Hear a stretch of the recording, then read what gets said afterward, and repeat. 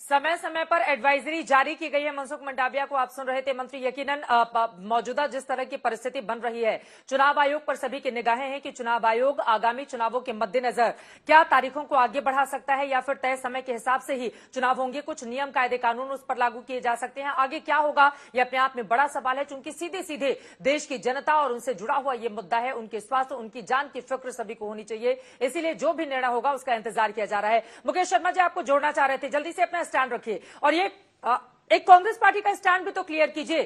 चुनाव को क्या आगे के लिए टाल दिया जाना चाहिए? आप लोगों ने अपना कार्यक्रम तो रद्द कर दिया है। लेकिन तारीखों को लेकर क्या फैसला होना चाहिए? अभी मैं एक मिनट एक तो मैं बंबई महाराष्ट्र का दोबारा जवाब दे दूँ। प्रेम शुक्ला जी बड़ा सुनना चाहते हैं। भारत के केंद्रीय स्वास्थ्य राज्य मंत्री कोरोना संक्रमित हो गए क्या वो महाराष्ट्र की वजह से हुए हैं? ये कोरोना देखता नहीं है कौन संक्रमित होगा?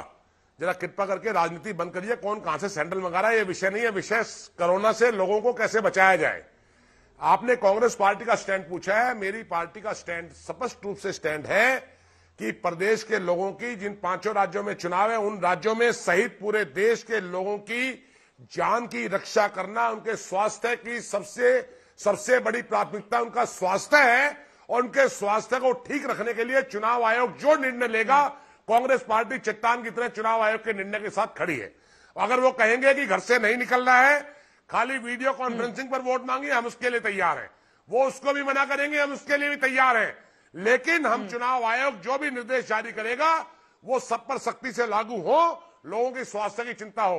एक बात सिर्फ़ अंत अंत में चित्रा जी ज़रूर कहूँगा कि ये नहीं भूलना चाहिए कि लखनऊ में शमशान घाट में लोहे की चदरें लगाकर सीन को छिपाया जा रहा था जब लाशें दफनाई जा रही थी।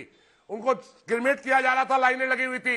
ये नहीं भूलना, ये देश नहीं भूलेगा कि भारत के स्वास्थ्य मंत्री डॉक्टर हर्षवर्धन का इस्तीफा लेकर मोदी जी सरकार ने अपनी पूरी नाकामी हर्षवर्धन पर डालकर उनको बलि का बकरा बना दिया, जबकि जिम्मेदार पूरी मोदी सरकार थी जो दूसरी लहर में हज़ारों लोग, लाखों लोग मरे हैं, और जो गंगा में लाशें तैर रही थी, उसके लिए योगी आदित्यनाथ को तुरंत इस्तीफा देना चाहिए।